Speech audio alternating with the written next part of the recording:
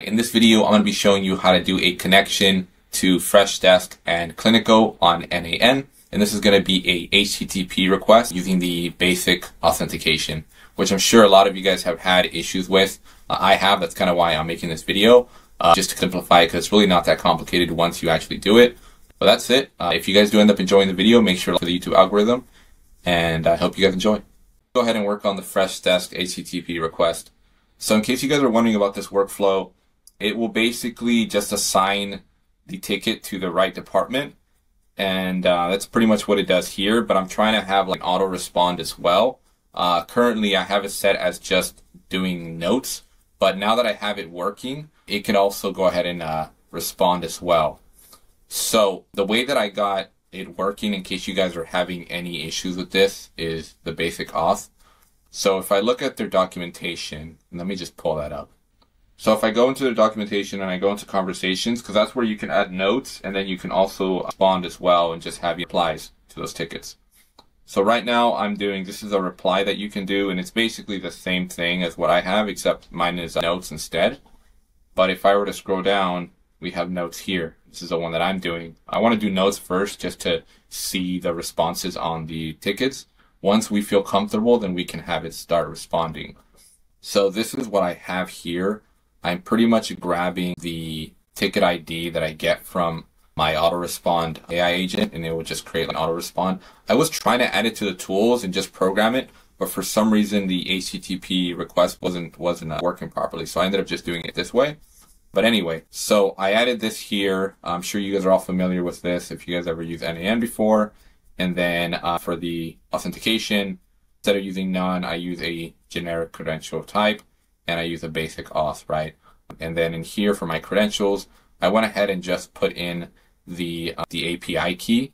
And then for the password, it's just going to be X because uh, you don't really need a password. They even tell you in here, uh, if you see it here, uh, your API key and then X, you don't really need a password there. You can kind of read through it. And so you don't really need that.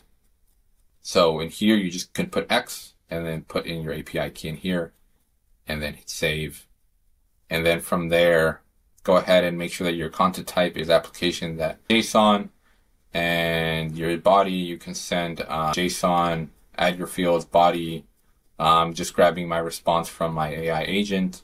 And if you want to, if you want the uh, note to be private, you can do that either true or yes. But that's it. So if you set it up this way, it should work. Uh, if you have any questions, uh, just make sure to comment down below, or you can reach me on my website, luxdesigns.com and I'll go ahead and try to help you guys out. This is a post request if you guys haven't noticed, but that's it. Let's move on to Cliniko. So I have a webhook and I'm attaching this to an HTTP request. So if I go into that, the part where I can see a lot of people get quite hung up because I also did as well is setting up the basic auth. So uh, one of the issues that I have is I was adding it in the headers, which wasn't working. So what I did is I went ahead instead of doing none, I did generic credentials here. And then I chose basic auth. And then from there, you need to go ahead and add your credentials. So just hit the edit button. I've already added mine. I'm going to have this blurred out, but just add your API key that you get straight from Cliniko. You don't, if you're looking at the documentation, you're probably thinking that you have to uh, base64 encode it. You don't have to do that. It will already do it for you. So just grab the API key that you get from Cliniko. And then for the password, you can just really type in anything. I just put X. So if you just put X or pretty much any character in there and then just hit save. So make sure that you set that up.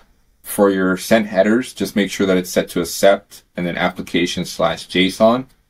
And then if you want to send a body, definitely should do that. I'm sending this just to the contacts and I'm grabbing this uh, JSON from my, or at least a data, I'm grabbing it from my webhook.